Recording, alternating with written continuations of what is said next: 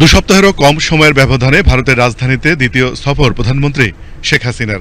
দেশটির প্রধানমন্ত্রী নরেন্দ্র মোদীর আমন্ত্রণে শুক্রবার রাষ্ট্রীয় সফরে নয়াদিল্লি পৌঁছান শেখ হাসিনা। নরেন্দ্র মোদীর শপথ নেওয়ার পর প্রথম কোনো সরকার প্রধানের ভারত সফর এটি।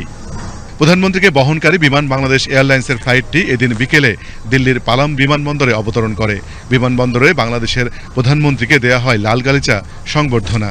নেচে গিয়ে অভ্যর্থনা জানানো হয় শেখ হাসিনাকে।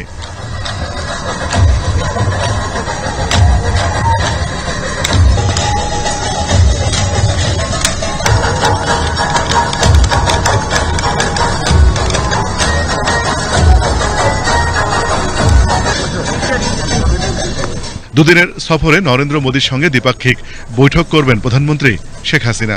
শীর্ষ পর্যায়ের আলোচনার পর সম্পর্ক আরও জোরদারে স্বাক্ষরিত হবে। বেশ কিছু চুক্তি ও সমঝোতা স্মারক। শনিবার রাষ্ট্রপতি ভবনে আনুষ্ঠানিক অভ্যর্থনা জানানো হবে বাংলাদেশের প্রধানমন্ত্রীকে। ভারতের রাষ্ট্রপতি দ্রৌপদী মুর্মুর সঙ্গে সাক্ষাৎ করবেন প্রধানমন্ত্রী। রাজঘাটে মহাত্মা গান্ধীর সমাধিতে শ্রদ্ধা জানাবেন প্রধানমন্ত্রী। এর আগে গত নয় জুন ভারতের প্রধানমন্ত্রী নরেন্দ্র মোদীর আমন্ত্রণে নয়াদিল্লিতে তার শপথ গ্রহণ অনুষ্ঠানে অংশ নেন প্রধানমন্ত্রী শেখ হাসিনা। বলা হয়, প্রতিবেশীর সঙ্গে সুসম্পর্কের ক্ষেত্রে রোল মডেল বাংলাদেশ ভারত সম্পর্ক। সে ধারাবাহিকতায় ভারতের প্রধানমন্ত্রী নরেন্দ্র মোদীর আমন্ত্রণে মাত্র অল্প কয়েকদিনের ব্যবধানে দুবার নয়াদিল্লি সফরে এলেন প্রধানমন্ত্রী শেখ হাসিনা।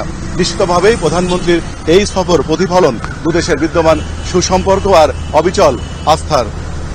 আসিফুর রহমান বাংলাদেশ টেলিভিশন নয়াদিল্লি ভারত।